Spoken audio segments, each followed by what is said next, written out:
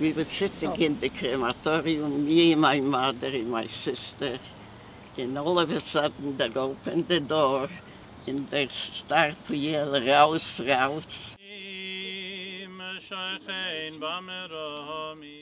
We'll change now the yellow star to a yellow rose. uh, invite you to take a rose and place it uh, anywhere where your loved ones might be. And if you have loved ones in other cemeteries, um, please take a rose and take it along with your stone. to kill six million people, a million children, to send us to the gas chambers.